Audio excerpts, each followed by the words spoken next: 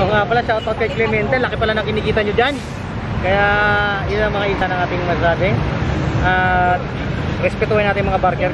Kung hindi dahil sa mga barker, wala lang. So mga insan, may disadvantages. Aray, mag-share lang ako sa inyo. Nakaubad na naman ako. May, disa- may disadvantages ang isang bagay na kung saan lagi mong ginagawa, it tends to make you sleep. So, gumawa ako ng solusyon. At ang solusyon ko ito, para tuwing inaantok ako, nahawa ko to, isa 2 kilo, 4 kilos, ano, ah, tapos gaganon-ganon ko siya. Yan, parang hindi ako tukin. Di ba? Ah, parang hindi na magkape.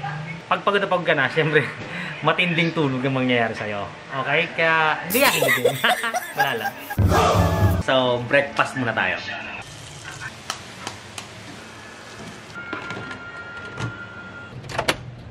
Ayun mga insan, meron akong kaibigan dito, si brother. Bakit Sergeant Show may pangalan niya? Pulis ba mayroon?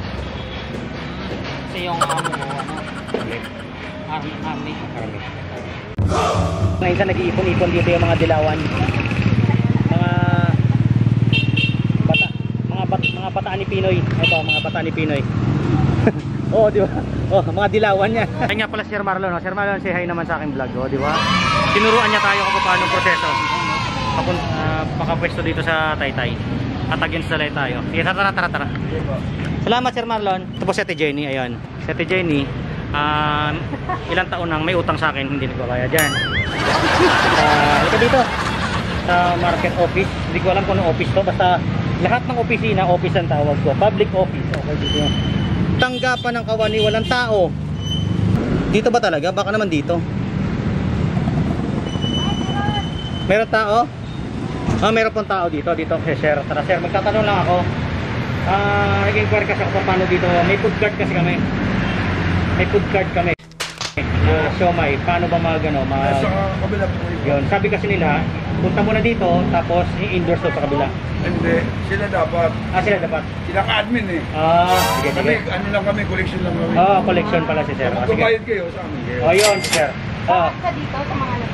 No, just lang, sila ka-admin eh. Sila Oo, lahat diba? sila may sakot niyan eh. Ganon yung sistema chain of command dito sa Taytay kaya yung mga insan. Hi ka naman sir sa vlog ko. Hi ka naman.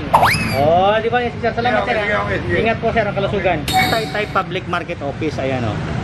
Kaya dito tayo mag inquire Dito ba daanan te? Dito? Ah, dito pala daanan. Nakapasok na rin ako dati. Sir, oh, sir, solve na? Solve na pagkain mo? Ay, kumakain pa pala sila sir. Sorry. Bike na lang ako dyan. At papunta na nga kami ngayon sa likod ng Mega Changi. Mega Changi ba yung punta natin? Boss, kamusta na? Ayos lang, Oo, oh, yan sila, oh, mga kaibigan namin dito. Oh, diba? Ah, sa likod ng ano yan? Bagpi ba yan? Maswer. Eh, di, no? Ano, ano ba yan? May kacanggi yan? Maswerte ba? Ito ano yan? May kacanggi ba yan? Ah, ewan ko. Okay, ito nakakatawa mga insan. Meron dito social distancing sa upuan, sa pila wala. Parang hindi ang ano Galaw ng mga tao dito. Dito nga, dito, dito, dito.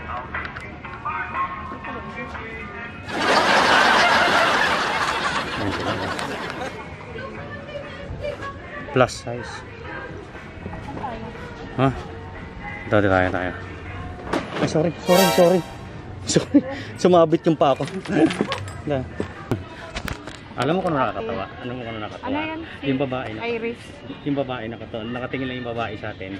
Ba't sila? Hindi na sila.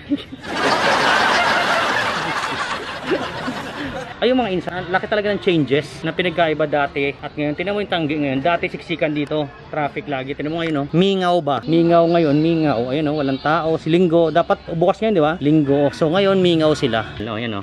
Ganda ng CR nila dito. oh. Aircon dito. Ito lang the only, ito yung the only aircon na na tiyanggi dito sa Pilipinas, no? Hindi. Siyempre, Divisoria. Hindi. Dito sa Taytay pala. Ito. Ang tawag dito, maswerte. Maswerte ito, te, no? O, swerte. Ayun mga insan, nandito tayo sa likod ng ano, meron ditong kainan. Ito yung paborito nating proben. May proben ba dyan? May proben. Ayun, proben. Oh, masarap po. Wow! Tay, kilala mo ba si Kuya Junior? Hindi ko kilala. Ah, hindi. Nagtitinda din kasi ng proben yon. Kala ko kamag-anak mo eh. Ah, ayan. Ito yung manugang ni Kuya Junior, si Mami, oh, di ba? Si tatay din. Sa si Kuya Junior ngayon, nandun. Kabila. Kaya nasa kabila, nandiyan ngayon. Pupunta natin. Pasyal natin si Kuya Junior, dali.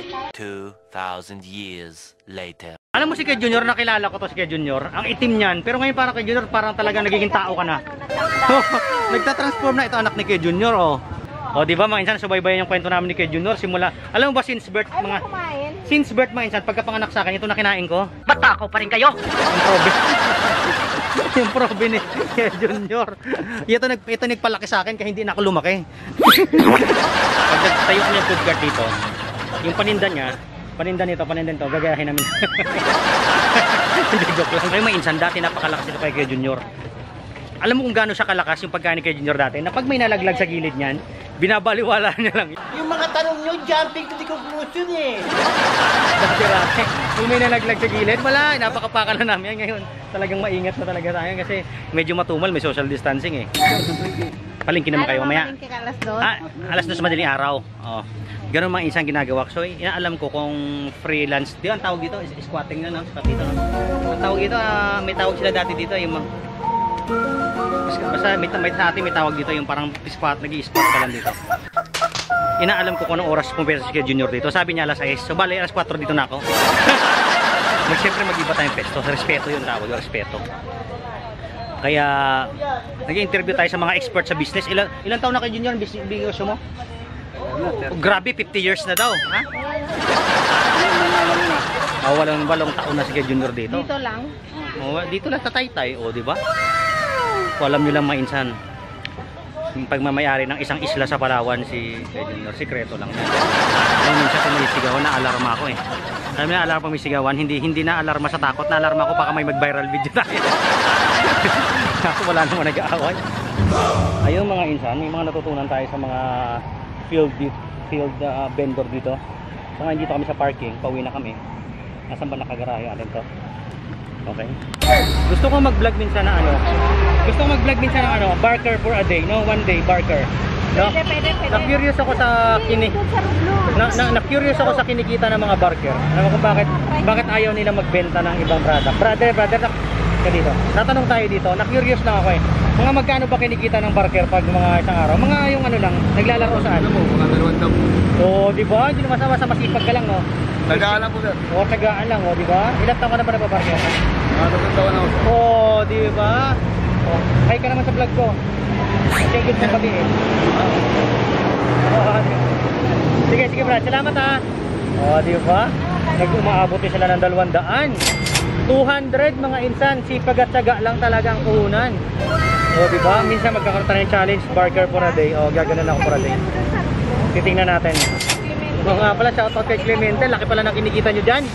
Kaya, yun ang mga isa ng ating masabi. At, respetuhin natin mga barker. Kung hindi dahil sa mga barker, wala lang. Di ba kung wala barker, okay lang din naman. Wala lang, umu umuso lang din yun. Hindi. Kung ating susuruin, pag-aaralan, ah, it was discovered, 19, nagkaroon ng barker, hindi ko alam. Dyan, dyan nagtatapos ang walang kwentang question and answer for today. Tara, ah, Barker ako for a day.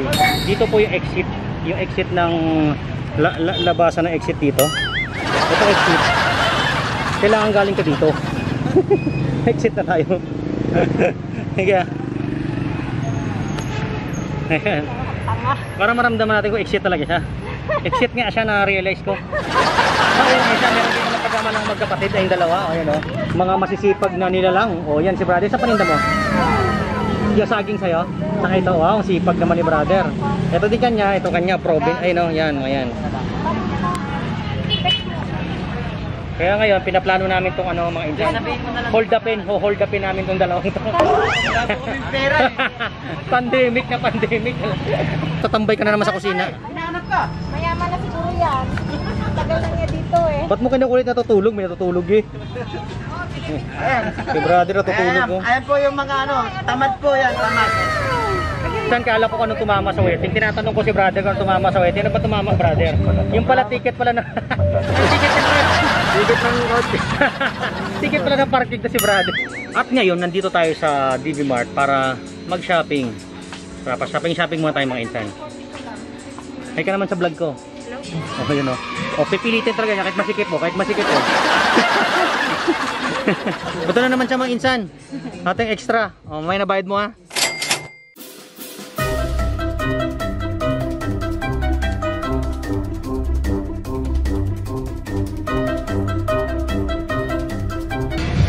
Puhulaan ko pangalan ng babae. Julie. Puhulaan ko pangalan mo. Piling ko Julie pangalan mo. Piling ko lang.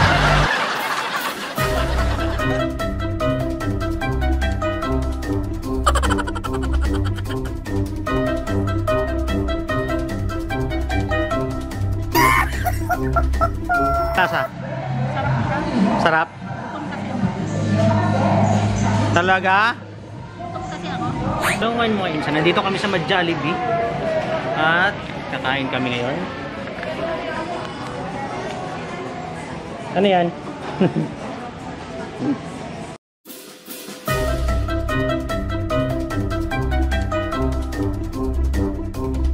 ano?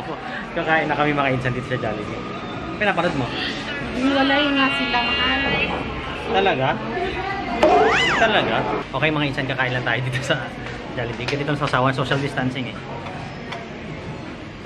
So magkasama kami kakumakain. Kasaw-saw ko ngayon, kakain ako. Layo ng usapan.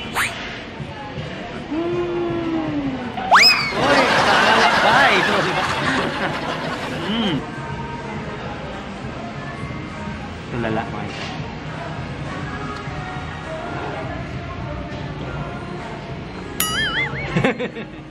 Kula ka brahot pag inom formalin. Kamaglulo sa babaw panchot.